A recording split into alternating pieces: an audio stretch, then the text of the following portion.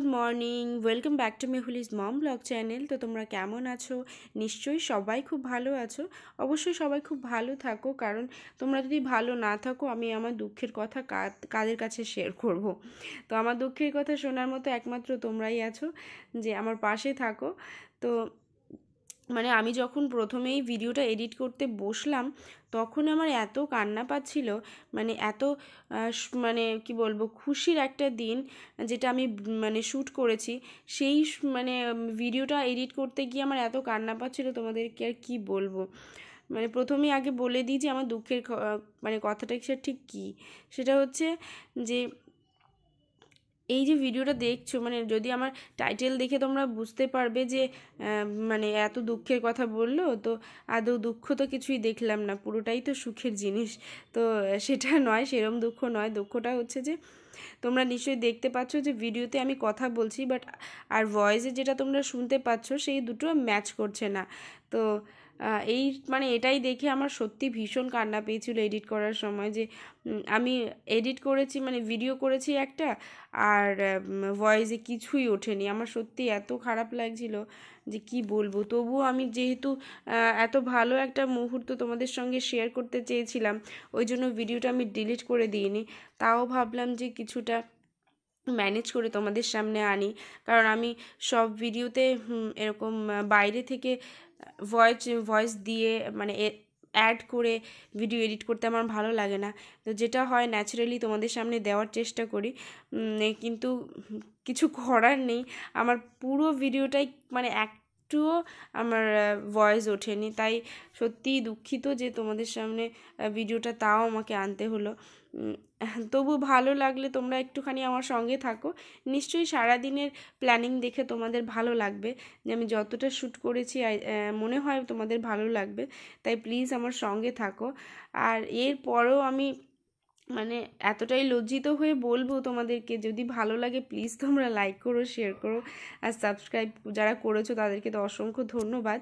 আর যারা করনি প্লিজ তোমরা নতুন যারা আছো আমার চ্যানেলে তোমরা সাবস্ক্রাইব করো।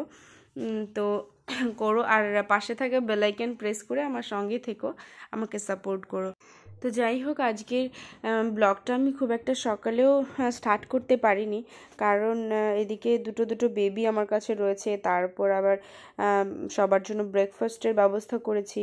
তো ওই জন্য সব কাজকর্ম করে তারপর তোমাদের সঙ্গে মানে আমি ব্লগটা স্টার্ট করেছি। তো এখনও পর্যন্ত দুপুরের খাবারের ব্যবস্থা করতে হবে। তো তারও কিছু বন্দোবস্ত করা হয়েছে মানে কিছুটা জাস্ট রেডি করে রাখা হয়েছে। তো চলো রান্নাঘরে কি অবস্থা দেখা যাক। তো এখনও পর্যন্ত রান্নাঘরে এই দেখো, মাছের মাথাগুলো জাস্ট ভেজে রাখা হয়েছে। আর এদিকে মাংস টাংস আনা হয়েছে, সেগুলো জাস্ট কিছুই করা হয়নি। তো এখন এখনও পর্যন্ত বেশ অনেকেরই ব্রেকফাস্ট হয়ে গেছে। আর এখন জাস্ট বাকি আছে এই যে বর্দা খাচ্ছে, বর্দা বাকি ছিল। আর তো এই হচ্ছে লাস্ট পার্সন যে সবার শেষে খাচ্ছে। আর এরপর আছি আমি আর মা। তো বর্দা বেশ মজাদার মজাদার কথা বলছিল। কিন্তু তোমাদের সঙ্গে আমি কিছুই শেয়ার করতে পারলাম না। তো বর্দার হয়ে আমি সবার সবার জন্য সুপ্রভাত বলে দিচ্ছি। কারণ বর্দা তোমাদেরকে সবাইকে সুপ্রভাত বলেছিল। তো যাই হোক, এখন আমি আর মা বাকি আছি, তো দুজন খেলেই দু মানে সকালের ব্রেকফাস্টটা কমপ্লিট হয়ে যায়। তো তারপর শুরু হবে রান্না বান্না দুপুরবেলার। তো দুপুরবেলার রান্নাবান্নায় কী কী মেনু আছে, তো সেটাই আমি তোমাদেরকে বলব। তো চলো খেয়ে নিই তারপর আবার কথা হচ্ছে।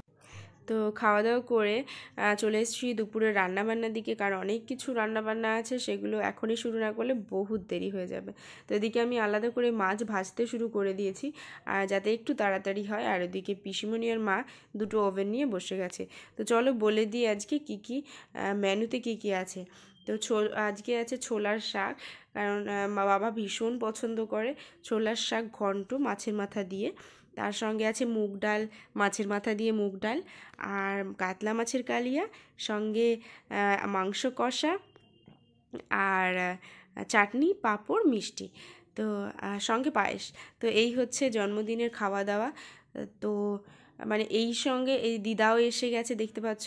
তো সবাই ভীষণ মজাদার মজাদার কথা বলছিল বাট তোমাদেরকে আমি কিচ্ছু শোনাতে পারছি না। মানে আমি এডিট করছি আর মনে মনে এত কষ্ট পাচ্ছি যে মানে সবাই এত, দেখো দিদা হাই করছে কত স্টাইল নিয়ে।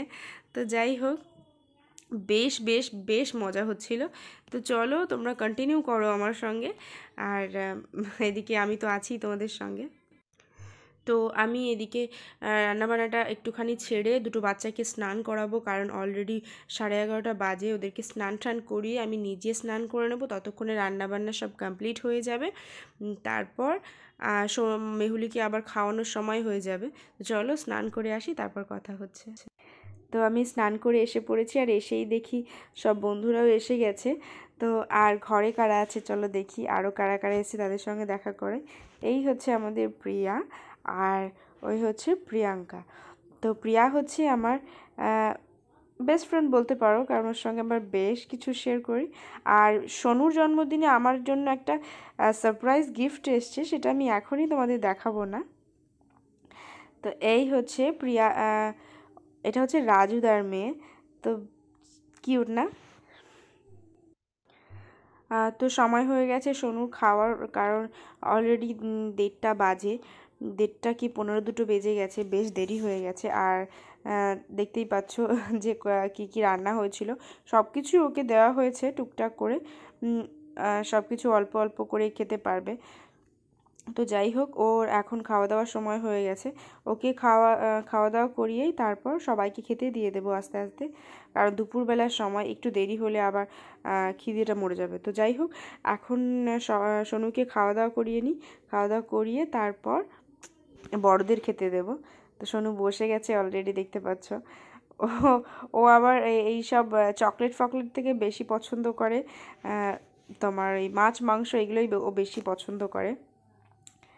তো কাম্মা, কাকাই সবাই একদম রেডি সোনুকে আশীর্বাদ করার জন্য। অবশ্যই তোমরাও ওকে আশীর্বাদ করো যাতে ও অনেক বড় হতে পারে।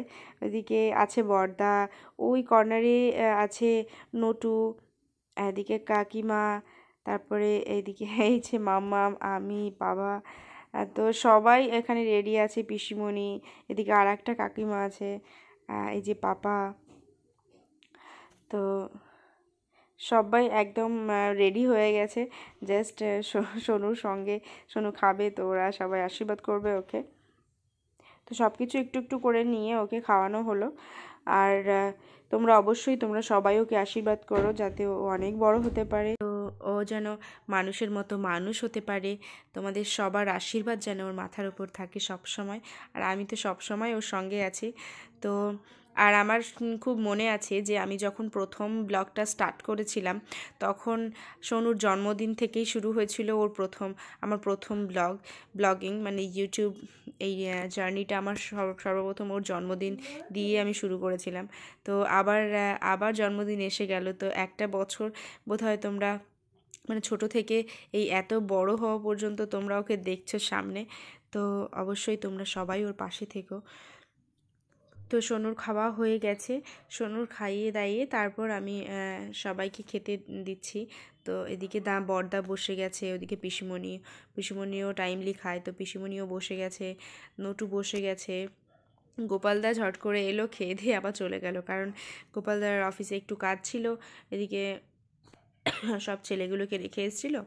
তো ওই জন্য ওকে একটু তাড়াতাড়ি দিয়ে দিলাম।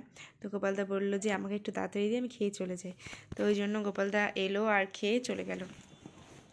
তো যাদের যাদের তারা আছে, তো প্রথমে তাদেরকে বসিয়ে দিয়েছে। আর এটা হচ্ছে যে, সকালে যে ছোটো দিদাকে দেখেছিলে মানে যে দিদা দিদা শাড়ি পরছিল আর কি, তো সেই দিদার ছেলে আর কি। তো আমার সম্পর্কে মামা শ্বশুর হন। তো এরা এনারা সবাই খাচ্ছে, খেয়ে দিয়ে তারপর বসবে হচ্ছে বন্ধুরা। তো এরা দেখতে পাচ্ছ এরা খাওয়ার সময়ও ইয়ার্কি মেরে চলেছে। এই হচ্ছে গোপালদা। মানে ওর বক্তব্য হচ্ছে, আমি কেমন করে হা করব? তো কেমন করে খাব? এগুলো তো আর কি ভিডিও কর। তো যাই হোক, সেগুলো করছি। আর এরা খাওয়ার পর আমরাও বসে গেছি খেতে। আর বাদ বাকি অবশিষ্ট শুধুমাত্র আমি, মা, বাবা আর এই দিদাই বস, বাকি ছিলাম। তো আর সবার খাওয়া হয়ে গেছে। তো বেশ দেরি হয়ে গেছে। আর অনুষ্ঠান বাড়ি একটু তো দেরি হবে, ওটা কোনো ব্যাপার না। তো আমরা এখন খাব, খেয়ে দিয়ে তারপর তোমাদের সঙ্গে আবার কথা বলব। তো চলো খেয়ে নিই। তো চলে এসেছি খেয়ে দিয়ে এসে এখন একটু রেস্ট নেব, নিয়ে তারপর বিকালবেলা আরও অনেক অনুষ্ঠান আছে, ওই জন্য এখন একটু রেস্ট নিতেই হবে। তো যাই হোক, এখন রেস্ট নেওয়ার মতো টাইম নেই বাস একটু বসে গল্প করব। আর এদিকে বন্ধুরা সব বেলুন টেলুন দিয়ে ঘরটাকে সুন্দর করে সাজিয়েছে, সেটাও তোমাদের দেখাবো। আর কালকে হচ্ছে কালকে গেছিলাম একটুখানি সোনুর জন্য কিছু গিফট কিনতে, সেগুলো সেগুলো দেখাবো বাট এখন নয়। তোমাদেরকে আর তার সঙ্গে সোনুর জন্য একটা সুন্দর, খুবই সুন্দর একটা কেক অর্ডার করেছি। তো সেটা অর্ডার করে দিয়ে রেখে এসেছিলাম। আজকে রাজুদার সঙ্গে করে নিয়ে এসছে। তো এখন তোমাদের সঙ্গে একটু গল্প করব। আর ওই যে মারা সব ওই ঘরে বসে গল্প করছে মা পিসিমণি। তো ওই জন্য ভাবলাম আমিও বসে যাই তোমাদের সঙ্গে একটু গল্প করতে। তো যাই হোক চলো এখন ঘরটা কী কেমন করে সাজিয়েছি সেটা তোমাদের সঙ্গে একটু শেয়ার করি। তো এই হচ্ছে প্রিয়া, আর এটা হচ্ছে আমার ঘর। এখানে প্রিয়ার মেয়েকে একটু ঘুম পাড়িয়েছে। আর এটাকে টুকটাক বেলুন দিয়ে একটুখানি সাজিয়ে দিয়েছে। কারণ বার্থডে গার্ল এখানেই ঘুমোবে। ওই জন্য বেলুনগুলো, বেশ কিছু বেলুন এখানে দিয়ে দিয়েছে। এটা হচ্ছে আমাদের ড্রয়িং রুম তো এখানেই মেনলি আমরা বসে টিভি দেখি আর ছোটোখাটো কিছু অনুষ্ঠান আমরা এখানেই করি। তবে ছোট হলেও জায়গায় হয়ে যায় আর কি। এইটুকু জায়গাতেই আমাদের হয়ে যায়। তো তোমরা বলো যে হ্যাঁ বন্ধুরা যেহেতু কষ্ট করে সাজিয়েছে, তো কেমন হয়েছে? অবশ্যই তোমরা কমেন্ট করে জানিও। তো দেখতে দেখতে ঘড়িতে প্রায় আটটা বেজে গেছে, আর এখন হবে কেক কাটিং পর্ব। তো দেখতেই পাচ্ছ কেক, শান্টু কেক নিয়ে চলে এসছে, আর এই কেকটাই দুপুরবেলায় রাজুদা এনে রেখে দিয়েছিল। আর কেকটা মিও অ্যামোরে থেকে অর্ডার করা হয়েছে। আর এই কেক কেকের উপরে বেশ সুন্দর মানে জাস্ট কেকটা কিন্তু আমার ভীষণ ভীষণ ভীষণ পছন্দ হয়েছে। আর মেহুলির তো অবশ্যই মেহুলিরও পছন্দ হয়েছে। আর যেহেতু এই কেকটা আনার একটাই উদ্দেশ্য ছিল, যেটা হচ্ছে মেহুলি এখন বইতে বেশ কিছু মানে অ্যানিমালসের নাম শিখে ফেলেছে আর অনেক কিছুই শিখে গেছে। তো যাই হোক, ওই জন্য এরকম অ্যানিমালস রয়েছে, এর উপরেও বিভিন্ন রকম অ্যানিমালস রয়েছে কয়েকটা। তো সেগুলো দেখেও চিনতেও পেরেছে। যাই হোক, ওই জন্যই কেকটা বিশেষ করে আনা হয়েছে। তো কেমন হয়েছে প্লিজ তোমরা কমেন্ট করে জানিও যে কেকটা তোমাদের কেমন লেগেছে।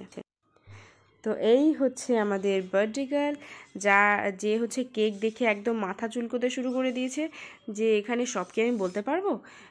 নাকি?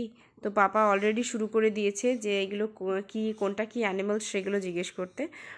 তো মেহুলিও খুবই এক্সাইটেড এই কেকটা দেখে যে কোনটা কোন কি অ্যানিমাল সেগুলো সব, সবটারই নাম জানে। তো ওই জন্য বাবা কত এক্সাইটেড এটা অ্যানিম্যাল ওটা টাইগার তো সবই ও বলতে পারছিল। তো এটা দেখে আমাদেরও ভালো লাগছিল যে না কেকটা এনে সত্যি ভীষণ কাজের দিয়েছে। তো এই হচ্ছে পিসিমণি মা আর দিদা। তো সবার কোলে একটা করে ছানাপোনা দিয়ে দিয়েছি। দিয়ে এবার তোমরা কেক কাটিং শুরু করে দাও। তবে তোমরা ভিডিও দেখে বুঝতেই পারছ যে কতটা অসাধারণ ছিল এই মুহূর্তটা। মানে কেক কাটিংয়ে সবাই এক জায়গায় বসে আছে, তো অসাধারণ একটা মুহূর্ত ছিল। বাট সব থেকে বেশি মন খারাপ হচ্ছে তোমাদের অরিজিনাল ভয়েসটা আমি শোনাতে পারছিলাম না। ভীষণ হাসি, মজা মানে ভীষণ মজা হচ্ছিল। বাট দুঃখ তোমাদের সঙ্গে শেয়ার করতে পারলাম না, এইটুকুই যা। বলো। Happy birthday to you. Happy birthday to you. Happy birthday to you. Happy birthday, dear mama. Dear Happy mom, birthday to you. to you.